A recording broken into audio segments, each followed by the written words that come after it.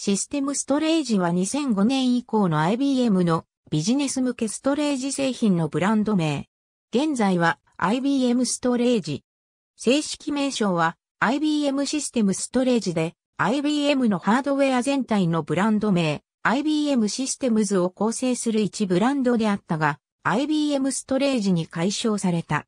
DS8000 メインフレームのストレージ IBM DS シリーズから IBM ストロワイズファミリーへとディスクストレージのブランド名称は変化。IBM ストロワイズファミリーはストレージ仮想化ソフトウェアである IBM スペクトラムバートシュアリスを組み込んだ製品群であった。IBM ストロワイズファミリー製品群は2020年2月に IBM フラッシュシステムに統合。